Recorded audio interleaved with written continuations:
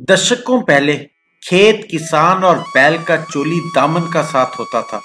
पर जब से ट्रैक्टर क्रांति आई है, खेत, किसान और बैल का रिश्ता लगभग टूट सा गया है। सब जगह खेती मैकेनाइज्ड हो गई है। इससे समय भी बचता है, मेहनत भी बचती है और पैसा भी। और शायद ठीक भी है। पर दोस्तों, आज के दौर में अगर कोई किसान बैल से हल जोतता हुआ मिलेगा तो या तो आप उसे पागल कहेंगे या फिर दीवाना।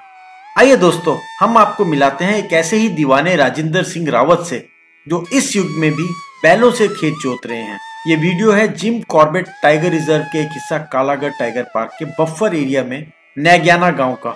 बैल से खेती करना रावत जी का जुनून भी है और शायद इनकी मजबूरी भी। आसपास सब जगह छोटे छोटे ट्रैक्टर आ चुके हैं। सरकार उस पर सब्सिडी भी दे रही है, पर रावत जी का दिल है कि मानता ही नहीं। अपने खेतों को बैलों और बाजों से जोतने और पसीने से सींचने में जो मज़ा आता है, वो इन लोहे की मशीनों में कहा?